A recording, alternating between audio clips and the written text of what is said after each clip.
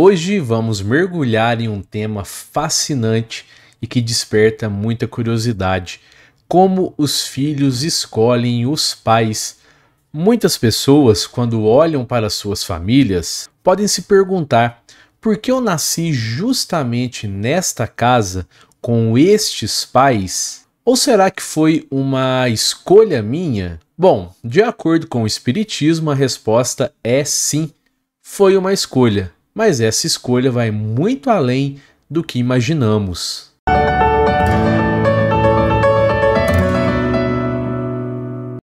Fala, meus amigos, minhas amigas, eu sou o professor Luiz Fernando Amaral.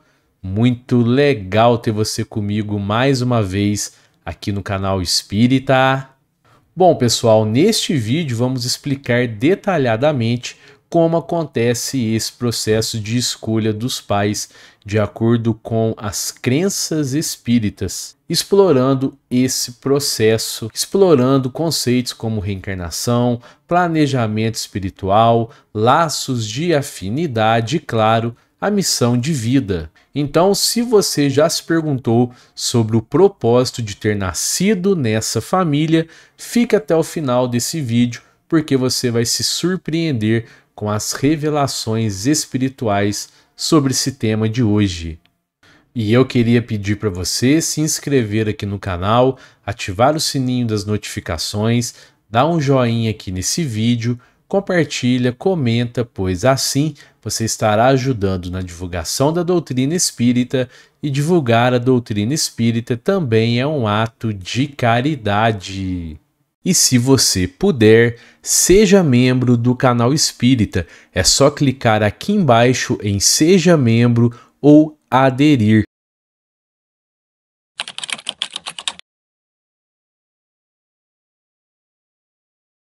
Para entender como os filhos escolhem os pais, precisamos primeiro entender um conceito fundamental do Espiritismo, que é a reencarnação.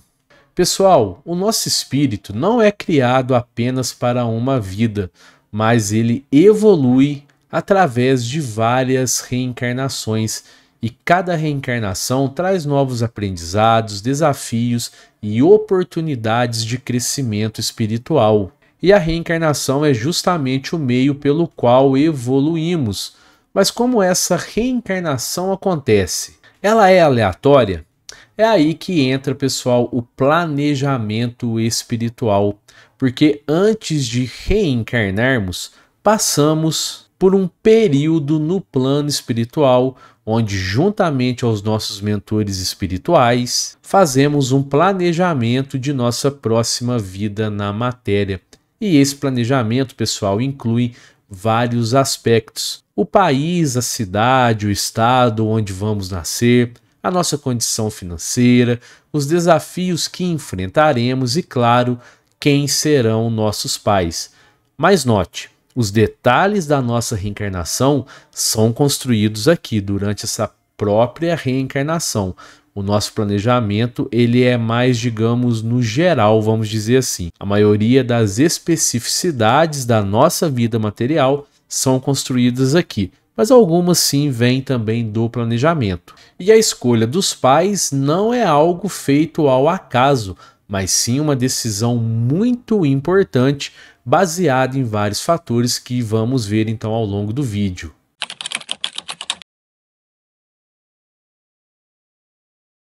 Agora que nós já entendemos que a escolha dos pais faz parte de um planejamento reencarnatório, um planejamento espiritual, é importante, pessoal, a gente entender um dos principais critérios dessa escolha, que são os laços de afinidade. Muitas vezes reencarnamos em famílias com as quais já tivemos algum tipo de vínculo em reencarnações passadas, e esses laços de afinidade podem ser positivos, como quando pais e filhos se amam profundamente, ou podem ser laços de reconciliação, onde há a necessidade de resolver questões pendentes de reencarnações passadas. Por exemplo, pessoal, se em uma reencarnação passada houve algum tipo de conflito grave entre duas pessoas, pode ser que na próxima reencarnação elas reencarnem como, por exemplo, pai e filho, para terem a oportunidade de aprenderem sobre o perdão e sobre a reconciliação. Isso explica por que em algumas famílias vemos relações tão intensas, tanto para o bem quanto para o mal. O Espiritismo nos ensina, pessoal, que esses laços são uma oportunidade de evolução e o ambiente familiar é o local perfeito para isso acontecer, já que a convivência íntima nos desafia e nos coloca frente a frente com nossos maiores desafios emocionais e espirituais.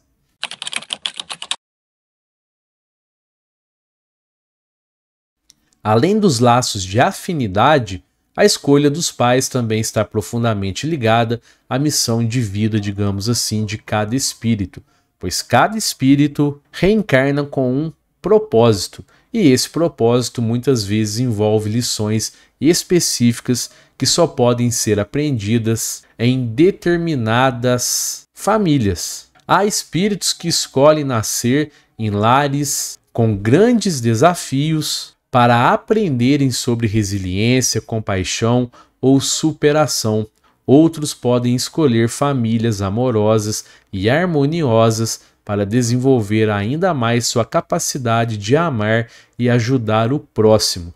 O mesmo acontece, pessoal, do lado dos pais, porque muitas vezes o espírito reencarnante é um verdadeiro presente para os pais, sendo uma oportunidade de crescimento e transformação para eles. A maternidade e a paternidade, nós não podemos nos esquecer disso, são vistas no Espiritismo como missões divinas, onde os pais têm a responsabilidade de ajudar na evolução daquele espírito que está sob os seus cuidados. Quando os filhos escolhem os pais, eles também estão escolhendo aqueles que poderão melhor ajudá-los em sua jornada evolutiva, ao mesmo tempo em que oferecerão a esses pais a oportunidade de crescimento através do amor, paciência e dedicação.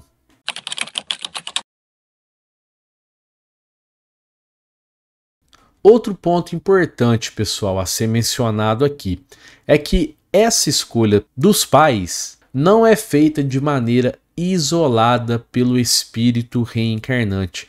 Porque veja bem, de acordo com o espiritismo, existem mentores espirituais que acompanham cada espírito em sua jornada de reencarnação. E esses mentores são espíritos mais evoluídos que auxiliam também no planejamento reencarnatório e na escolha dos pais mais adequados para o aprendizado daquele espírito. É como se os mentores fossem, digamos, guias que nos mostram quais são as melhores opções de acordo com o nosso estágio e evolução espiritual.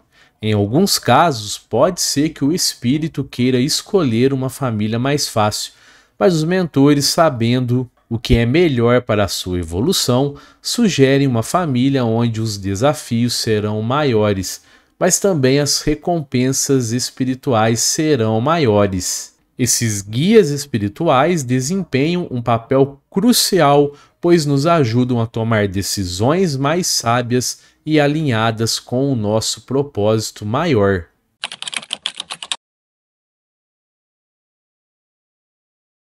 Você pode estar se perguntando: se eu tenho que escolher os meus pais antes de nascer, Onde fica o livre-arbítrio nessa história? Na verdade, pessoal, o Espiritismo ensina que o livre-arbítrio existe sim, mas de forma mais ampla. A escolha dos pais faz parte do planejamento espiritual, mas o livre-arbítrio entra em jogo nas decisões que tomamos ao longo da vida, já reencarnados. Por exemplo, mesmo reencarnando em uma família que não parece ser a ideal, temos o livre arbítrio para decidir como, como vamos lidar com aquela situação. Essa é uma das grandes lições espirituais. Não importa quais sejam os desafios, sempre podemos escolher o caminho da evolução, do amor e da transformação, e é justamente isso que faz com que o Espiritismo seja uma filosofia tão rica ele nos dá o poder de entender nosso papel na Terra e a oportunidade de fazer escolhas conscientes para a nossa evolução espiritual, independentemente de onde nascemos ou quem são os nossos pais.